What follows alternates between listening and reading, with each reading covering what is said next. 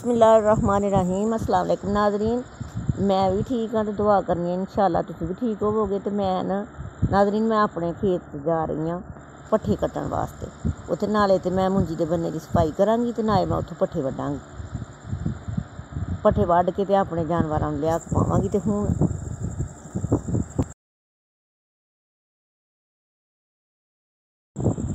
ਹੁਣ ਅਸੀਂ ਪਹੁੰਚ ਗਏ ਹਾਂ ਇੱਥੇ ਤੇ ਹੁਣ ਮੈਂ ਜਲਦੀ ਜਲਦੀ ਪੱਠੇ ਕੱਟ ਕੇ ਇੱਕ ਤੇ ਬੰਨੇ ਦੀ ਸਫ਼ਾਈ ਕਰਾਂਗੀ, ਦੂਸਰਾ ਪੱਠੇ ਬਣਾਵਾਂਗੀ। ਪੱਠੇ ਜਾਨਵਰਾਂ ਨੂੰ ਘਰ ਜਾ ਕੇ ਪਾਵਾਂਗੀ, ਪਿੰਡਾਂ ਦੀਆਂ ਔਰਤਾਂ ਬੜੀ ਮਿਹਨਤ ਕਰਦੀਆਂ ਨੇ, ਬੜੀ ਮਿਹਨਤ ਨਾਲ ਕੰਮ ਕਰਦੀਆਂ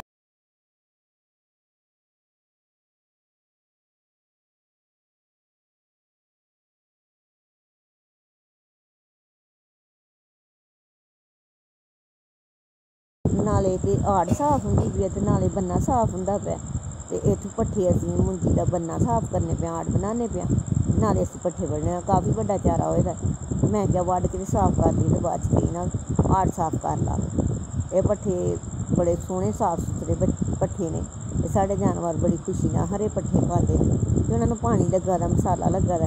ਇਸ ਵਾਸਤੇ ਪੱਠੇ ਬੜੇ ਖੂਬਸੂਰਤ ਨੇ ਸਬਜ਼ ਸਬਜ਼ ਇਹਨਾਂ ਨੂੰ ਅਸੀਂ ਵੱਢ ਕੇ ਫੜ ਫੂੰ ਕੇ, ਘਰ ਖੜ ਕੇ ਤੇ ਆਪਣੀ ਗਾਂ ਨੂੰ ਪਾਵਾਂਗੇ। ਪਿੰਡਾਂ ਦੀਆਂ ਔਰਤਾਂ ਬੜੀ ਮਿਹਨਤ ਕਰਦੀਆਂ ਨੇ ਇੰਨੀ ਗਰਮੀ ਦੇ ਵਿੱਚ।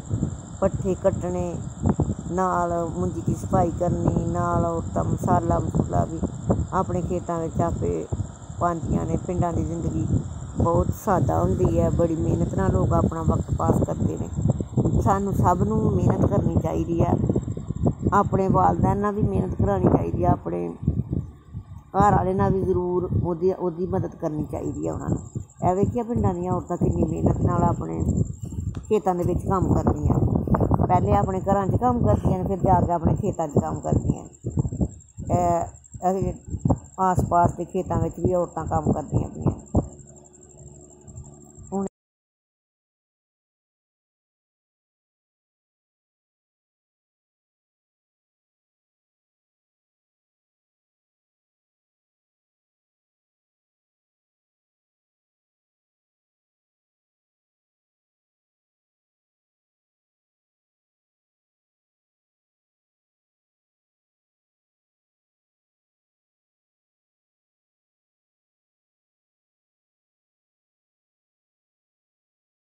ਉਹ ਹੈ ਵੀ ਤੇ ਪਿੰਡਾਂ ਦੀਆਂ ਔਰਤਾਂ ਨੇ ਨਾ ਦੇਖੋ ਕਿੰਨਾ ਬੜਾ ਤੋੜਾ ਚੁੱਕ ਕੇ ਮਸਾਲੇ ਦਾ ਪਿਆ ਇਹਨੂੰ ਅਸੀਂ ਕਹਿੰਦੇ ਆ ਤਾਲ।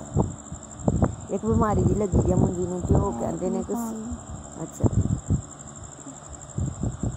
ਇਹ ਜਿਹੜੀ ਔਰਤ ਨੇ ਮਸਾਲਾ ਚੁੱਕਿਆ ਦਾ ਤੋੜਾ ਸਿਰ ਤੇ ਇਹਨੇ ਵੀ ਜਾ ਕੇ ਆਪਣੇ ਖੇਤ ਵਿੱਚ ਮਸਾਲਾ ਆਪਣੇ ਹੱਥ ਨਾਲ ਖਿਲਾਰਨਾ ਹੈ ਤੇ ਫਿਰ ਮੁੰਜੀ ਨੂੰ ਪਾਣੀ ਲਾਣਾ ਹੈ।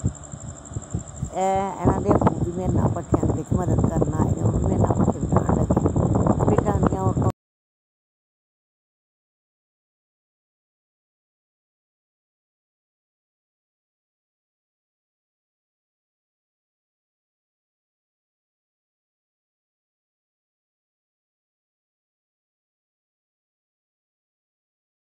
घर पहुंच गए हैं